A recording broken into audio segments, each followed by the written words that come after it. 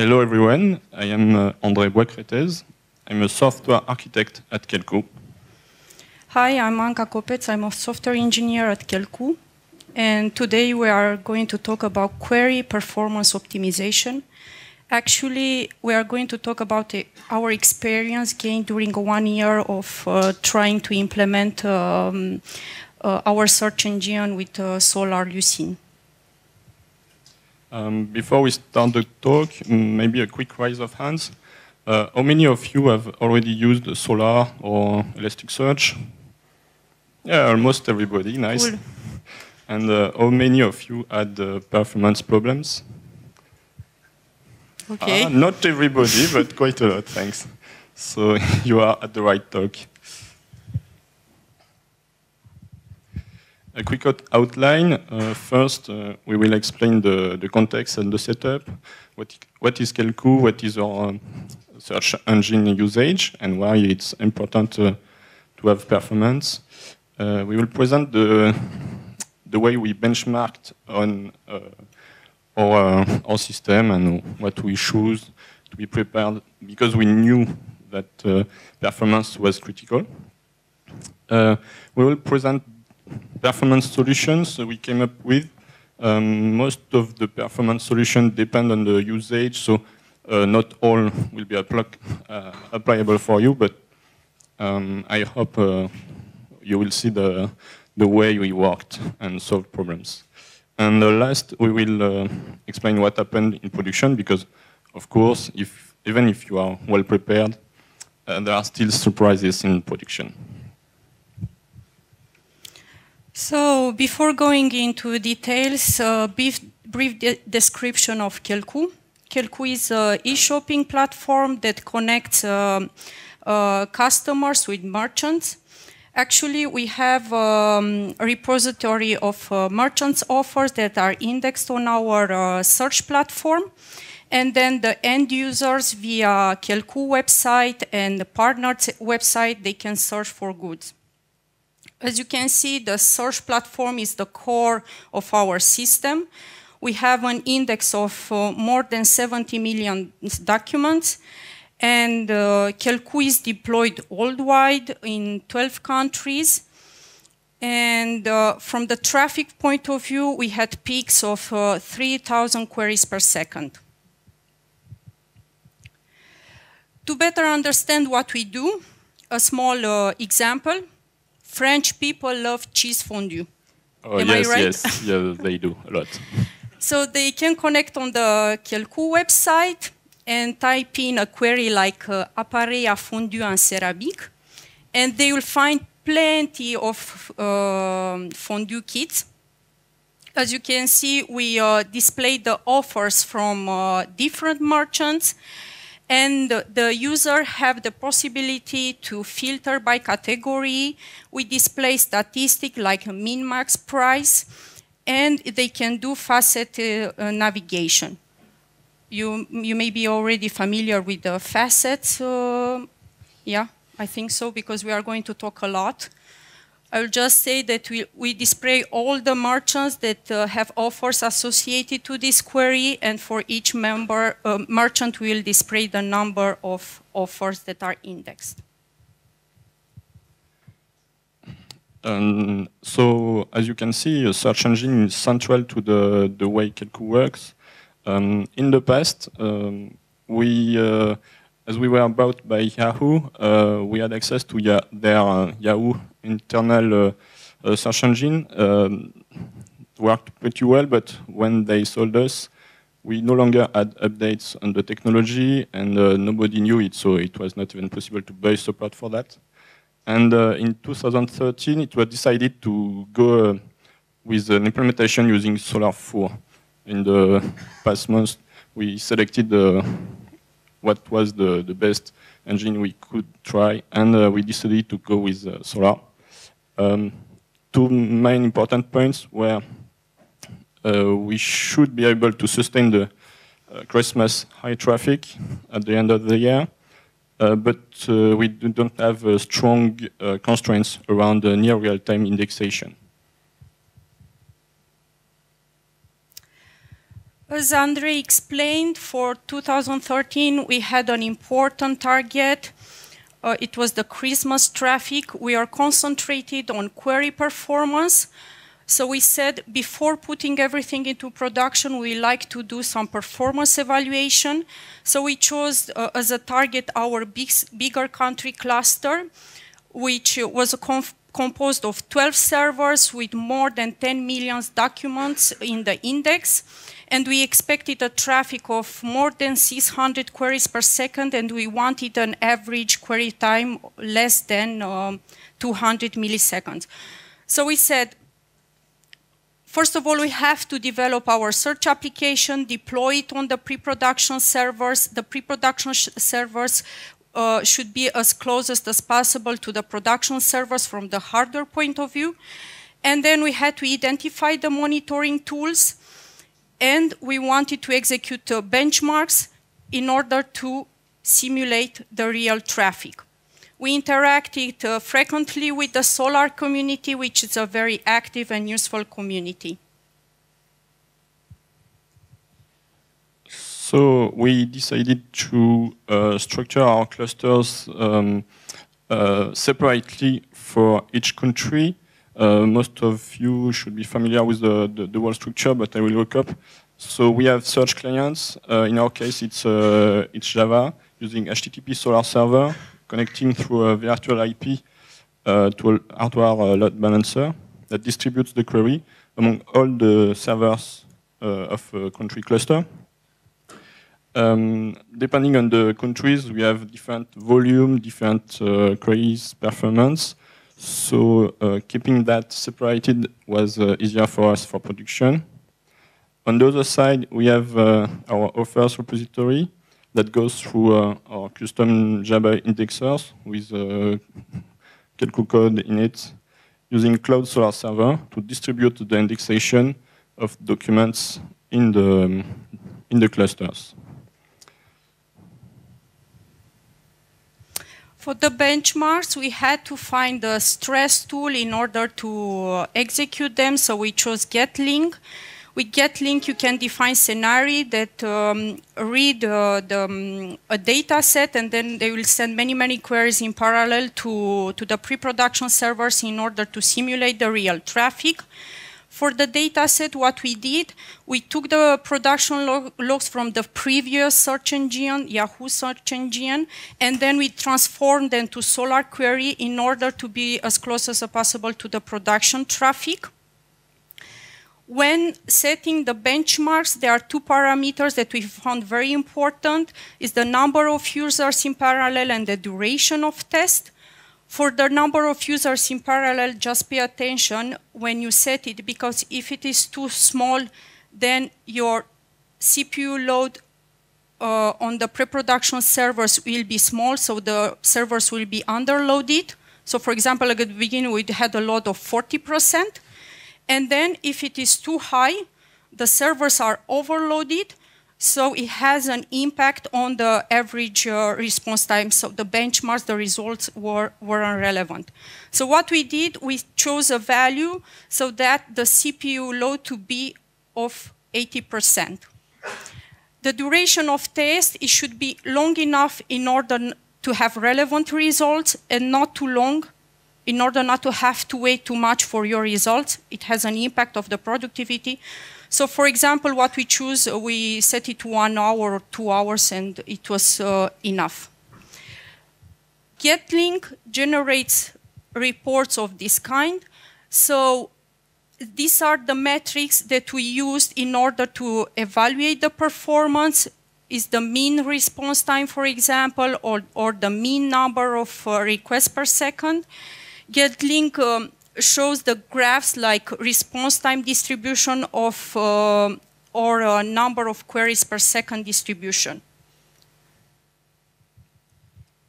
And so uh, at the end of the benchmark, of course, we have the average queries per second as was time and, and those graphs, but it was also important to closely monitor um, um, a lot of metrics about what happened on the servers uh, to verify where are the bottlenecks because um, if your bench benchmarks uh, eats a lot of the, uh, the disk, um, everything else will not be used uh, at its full potential. So having those graphs during the benchmarks allowed to verify if uh, the load was evenly distributed among all the resources, memory, CPU, disks, etc. And uh, not only the uh, system metrics, but also the metrics from Solr using JMX to have uh, caches hit ratio, verify that, that they are uh, configured, configured properly. Um, as well, we monitor the, the warm-up time, is the time after a commit before the, the data is available and caches are warmed. Uh, it should not be too long.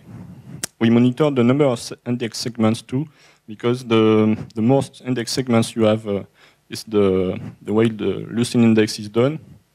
The more uh, segments you have, the less performance you get. So this was the phase where we prepared our benchmarks. We uh, identified the tools to monitor our system. We installed our pre-production servers. We developed our the first features on our search application, and we prepared the benchmark scenario. So we were ready. We said, let's go. Let's launch the benchmarks in order to do the query performance evaluation to, and to explore new ways to improve it. So what happened? Um, first, we explored different possibilities around sharding and replicating. Um, I guess uh, most of you uh, should have an idea about that, but um, simple, simple case is the replication. Happens is that uh, the index is the same of, on each server, and the queries are load balanced among all of those. It scales linearly. It's uh, very efficient when you have a very high number of queries per second, um, that's a, a, very good scalability uh, system. However, when each of the queries is too long, uh, for example, when the index is very big, um, you can do is shard. Shard splits the documents among uh, different uh, entities. So here we have servers that contains uh, shard1. These are replicas of shard1. Same for shard2 here. And uh, when a query arrives on any of the servers, it will be split into two or more, depending on the number of shards, subqueries. So each of those will run in parallel, and uh, the results are merged and returned to the, the client. So the query times gets roughly equivalent to the maximum time on uh, each of the shards. So uh, during benchmarks, we had a situation where the hardware used either in this configuration or this one with the same number of servers, the results were fairly the same, but that was on the ideal case. What happens in case of a failure? In, in this case, it's uh, very different. When purely replicating, a server down means that the other servers will have to work a bit more, but all others will be loaded the same. What happens with sharding is that the load is distributed on the remaining servers of the shard. So here we have only one poor server doing all the work. And uh, it means that the cluster will be bottlenecked much faster, despite having the same hardware. So when you need resilience, uh, keep a lot of replication uh, and avoid sharding if you can.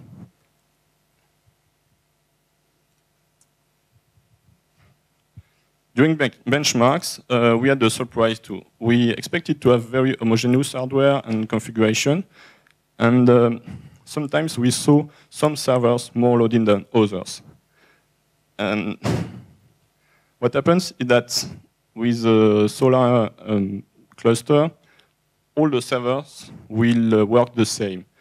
Uh, especially with replication, the load is really, really identical, um, perfectly distributed, among all the servers. And sharding, if you have bad luck, you can have a shard slightly more loaded than the others, but mostly the, the load is evenly distributed. That means that if any server is a bit slower than the others, the others will not work for him. Uh, so um, it will be a bottleneck very quickly. That's uh, how we discovered that some of the servers had a, an energy saving option in the BIOS, so the CPU was not fully used. We were able to fix that.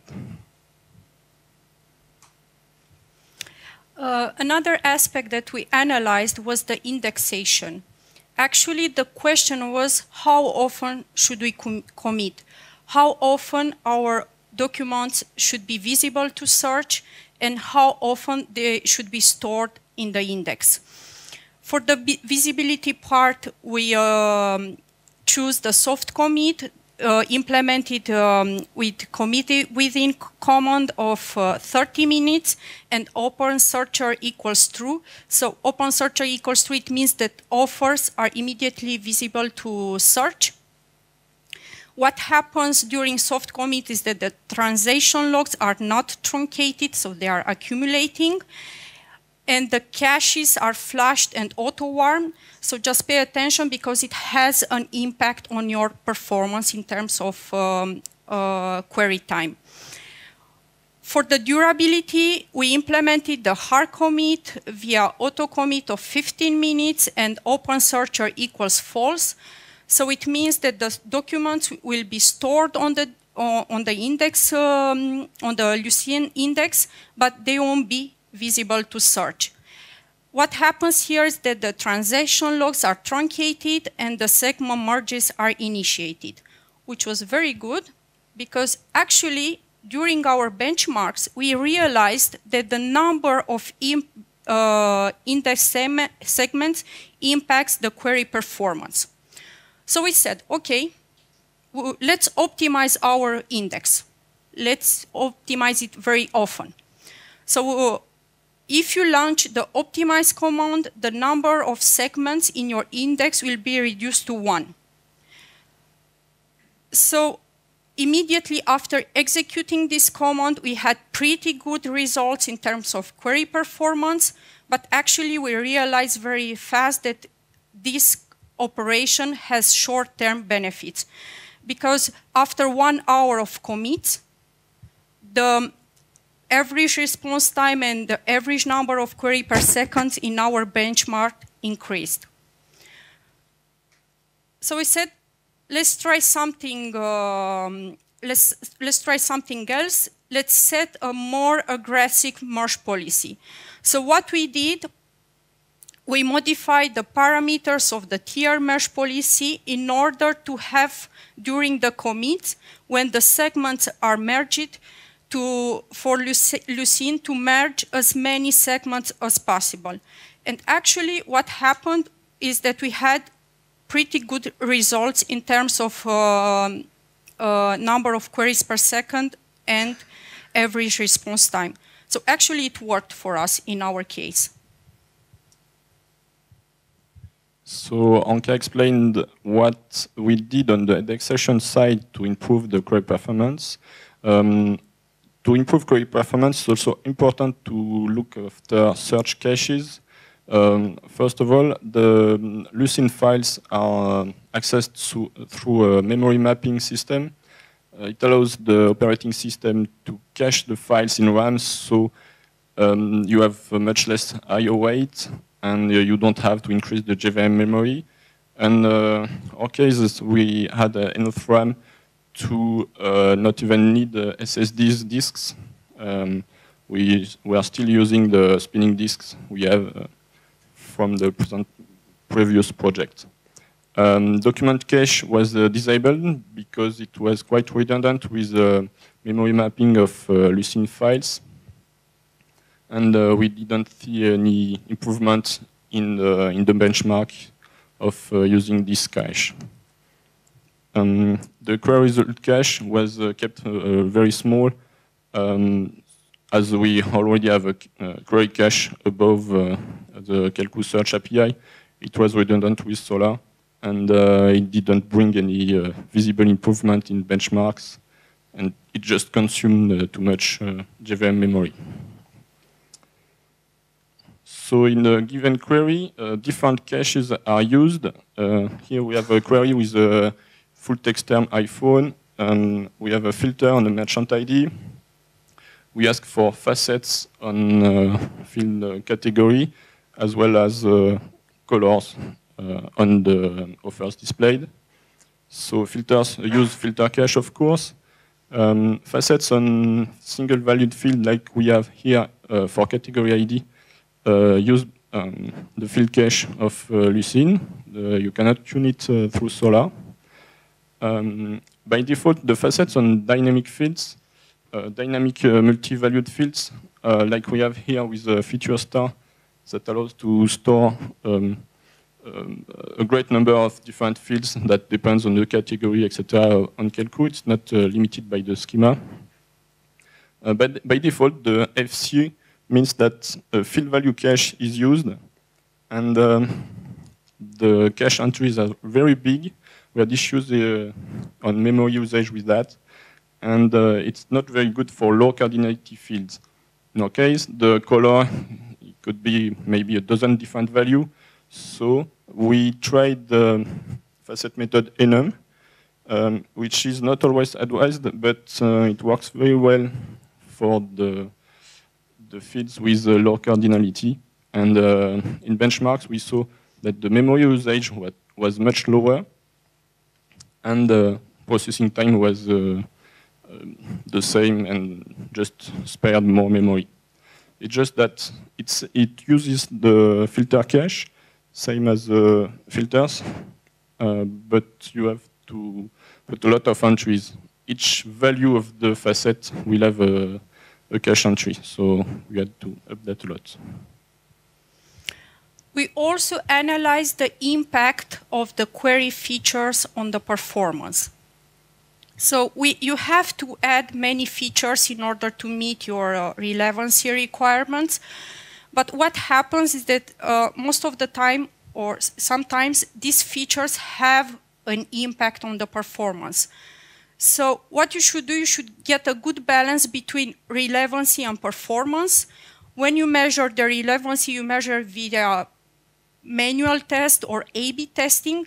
But what you should do, you should also measure the impact on the performance. So you should monitor your cluster in order to see what's the impact on each feature on the mean response time or uh, query time. To better understand that, I would like to give you an example uh, of uh, transformations of features that we implemented at, at Kelkoo. So if the user types in a query like leather accessories for iPhone, we'll transform this query. We'll apply some transformations like uh, lowercase, leather becomes leather, stemming, the accessories is reduced to accessory. We remove the stop words, and then we split the model name. So iPhone 5, it will become two words, iPhone and 5. By default, the query operator is AND, so all search terms are mandatory. But what happens if the query doesn't return any result? What we do, we execute an OR query. And Actually, during our benchmarks, we realized that the OR query is very expensive. It takes a lot of time because it returns lots of uh, results and it searches through the whole index. So what we did, for example, we uh, implemented the min should max that will match that reduce the number of work queries. The facets are also very expensive the fact that we display offers from different merchants, so we had to use group by merchant ID, it's also expensive. The main idea be behind is every time you add a new feature, try to test the impact on the performance. So this was the end of our benchmarks phase. We analyzed many aspects. We did many improvements on the Solr cloud configuration, on the indexation policy, merge policy, search caches, and Solr features.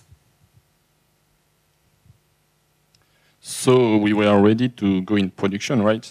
Um, and of course, we had surprises. Um, for example, we had out of memories uh, due to filter cache. We tuned the, the values so that the memory usage was adequate in the benchmark, but the actual number you put in the configuration is not the memory used. The memory used will de depend on the data you have in the index, as well as uh, what are the queries that are done. And despi despite we uh, used the production indexation data and production queries, we were quite surprised uh, also by that. Um, so we increased the memory. It's important uh, that your server JVM has the same start and maximum uh, JVM heap settings. That was uh, very evident in the benchmark, something like 20% uh, performance uh, improvement. And we tuned down the, a bit the number of filter cache entries, and we solved that. About uh, garbage collecting uh, parameters, um, there are quite a few. It's a bit of a black art. I refer you to the page of uh, Shawn Heisey that sums up the various settings that works. Some are more detailed than others. Um, the main takeaway is that concurrent mark and sweep, CMS, uh, is important for Solr. That's the, the algorithm that works the, the, the best. Uh, we had a few bad surprises with uh, servers going into uh, recovery. Um, that means that one of the server in a cluster uh, thinks is uh, it's lagging behind indexation, so it will stop serving queries, and the load will be distributed among the others. And it will stop serving queries and retrieve an index uh, from uh, another server. And during the, during the time the index is retrieved, it means that uh, you have one, one less server doing the query work.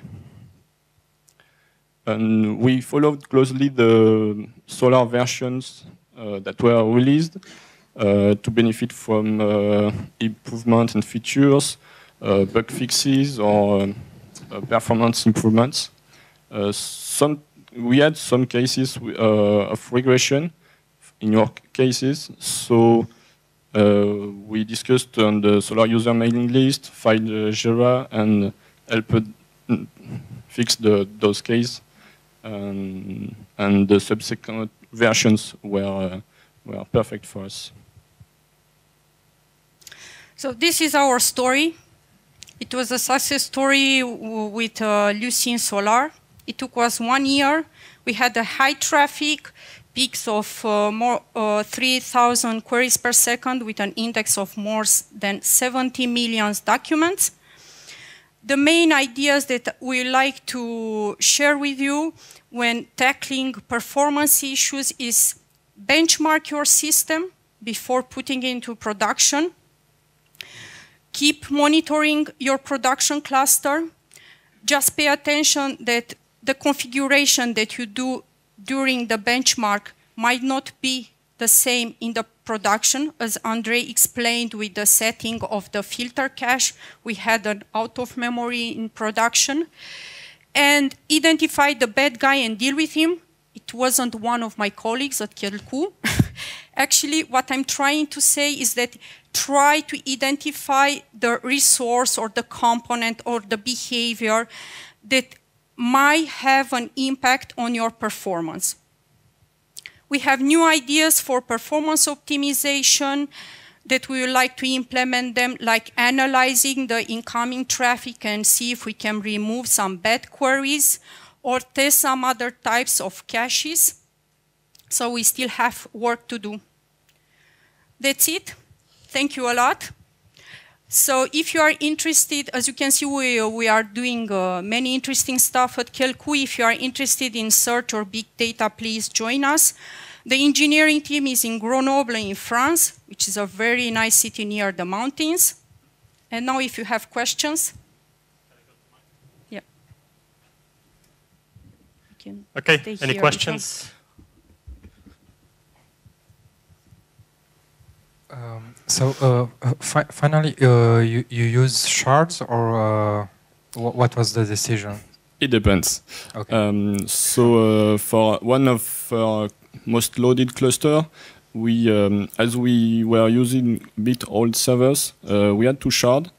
Um, so I guess it was something like uh, no more than two shards, and, and don't remember the number of replica maybe for for France. It was uh, 12, I think, or something. Yeah, it, it was 12 servers, for example. Mm. Uh, it was really the one of the, the biggest cluster, uh, most problematic one. And others were only, for example, two servers uh, in replication and, and such. And uh, we ended uh, with buying new hardware. servers were quite old, and this time we did not need the sharding to simplify that. So when uh, when you use uh, uh, for for the case where you used shards, yeah. did you use something like routing, like I mean, to yeah. Yeah, yeah it, we had a. Yeah. It, was the, the, the default routing, um, so we didn't uh, customize that. Is that your question? Yeah. Yeah, my question is whether you customized the routing or not. No, no, it, it was the default one. and uh, Inside Solr yeah. Cloud, you're saying. No, we didn't. Thank you.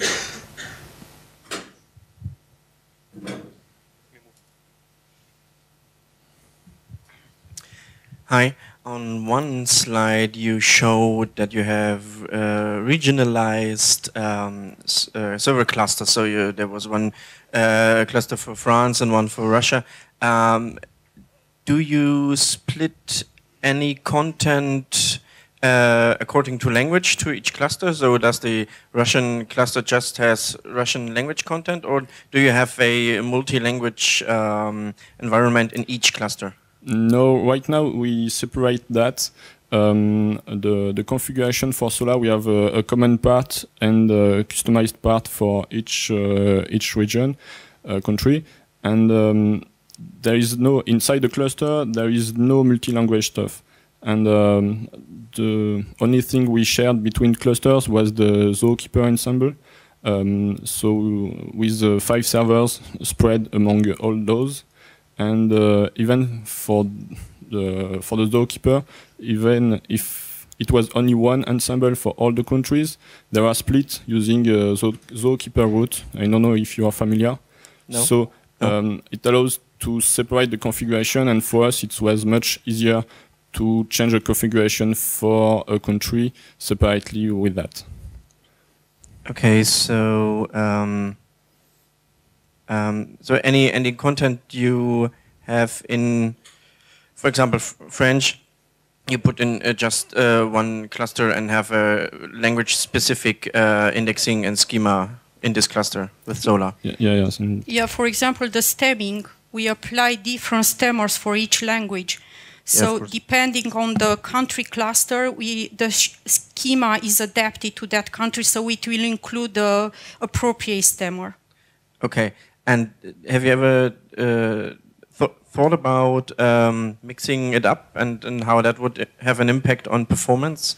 Um, the, the advantage of mixing uh, different countries on the on a single cluster would be to um, spread the load uh, in an easier way.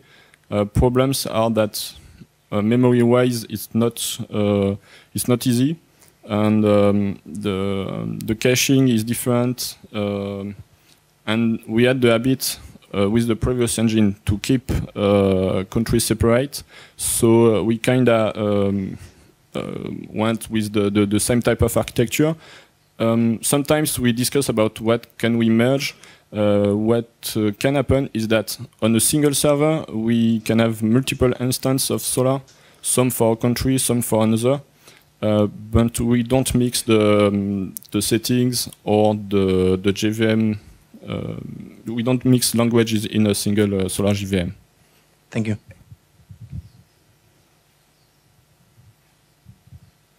How do you replicate your index? Are you using the HTTP uh, replication or the rsync connection? Yeah, yeah, we are using the, the Solr Cloud feature, so it's all done uh, by uh, by Solr itself. Uh, is that your question?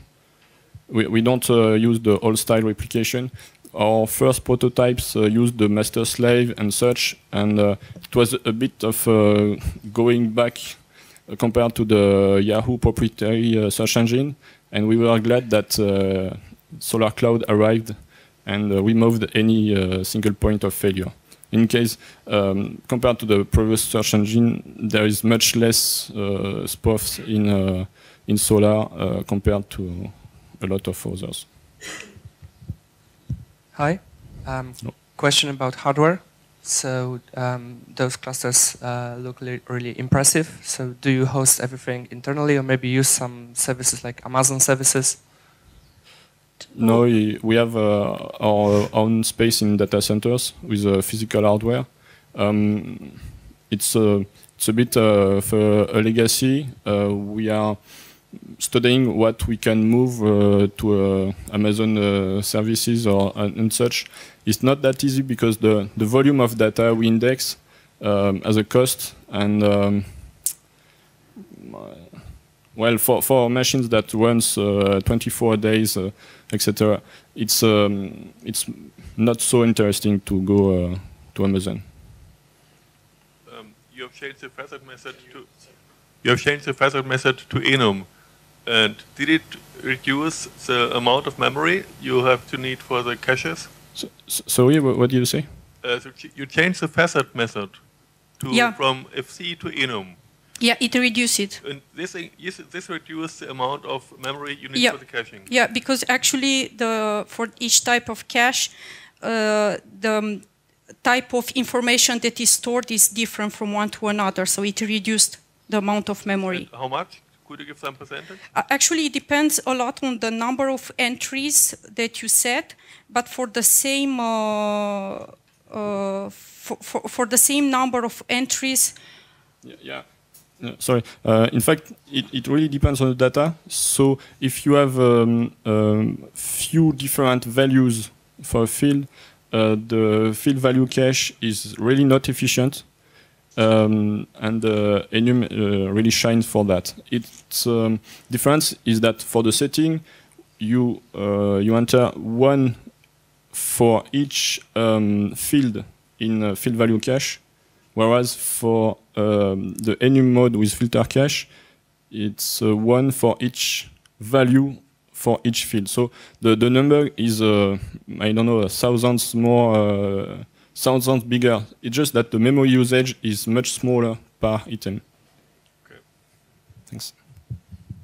Any more questions?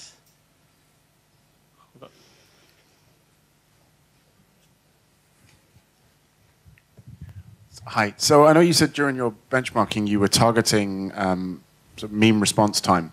Did you ever have to sort of consider things like 95th percentile and maximum response time as well, just for, for looking at those kinds of edge yeah, cases? Yeah, yeah. It was a, to simplify a bit the presentation, but uh, of course the, the, the, the 95 and 99 percent are, are important. Um, uh, with, uh, with JVM garbage collector, um, it can hurt a lot the 99 performance. Uh, what we saw in the 95 it was uh, pretty decent. So um, I guess one of the benchmarks at the, the value. Where is it? At the beginning. Beginning. Actually, oh, yeah. in this way, we realized that the OR queries takes a lot of time. So we had to analyze them in details and we had to find a solution to reduce the number of OR queries. As I said, the metrics that I showed there, it, it, was just an example of the metrics that we are using, but actually we're analyzing the whole report. It's very important, as you, as you are saying. Okay. Any more questions? Going once, twice, three. Sold. Okay, thank you. Thank you, guys. And enjoy your lunch.